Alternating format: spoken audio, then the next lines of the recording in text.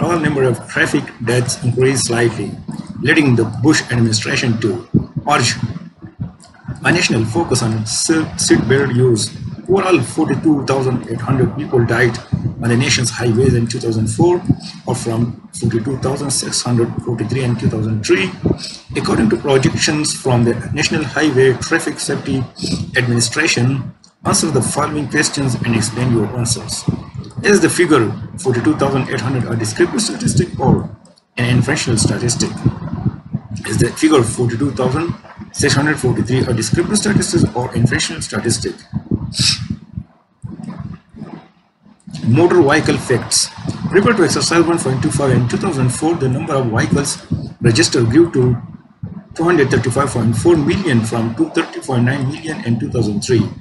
Vehicle miles traveled increased from 2.89 trillion in 2003 to 2.92 trillion in 2004. Answer the following question and explain your answers. All the numbers of registered vehicles, descriptive statistics or inferential statistics. Or the vehicle miles traveled, descriptive statistics or inferential statistics. How do you think the NHTSA determine the number of vehicle miles traveled? The highway fatality rate dropped from 1.48 deaths per 100 million vehicle miles traveled in 2003 to 1.45 deaths per 100 million vehicles miles traveled in 2004. It was the lowest rate since reports were first kept in 1966. Are the highway fatality rate descriptive statistics or inferential statistics?